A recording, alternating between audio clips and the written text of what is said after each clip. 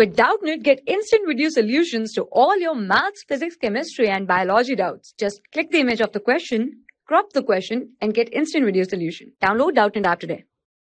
So questions that sort out even and odd numbers. The number will be 42, 89, 144 and 321 and we have to find the which is the even number and which is the odd number. Then first number will be 42 so unit uh, digit of 42 will be 2 and 2 is even. So 42 is the even number. 89 unit digit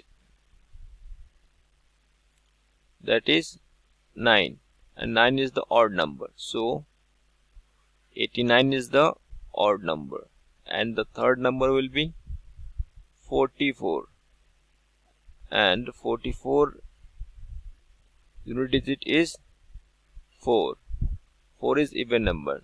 So 144 is even number. And the last number will be 321 the unit digit of 321 is 1 and 1 is the odd number. So 321 is the odd number for class 6 to 12, IIT JEE and NEET level. Trusted by more than 5 crore students. Download Doubtnut app today.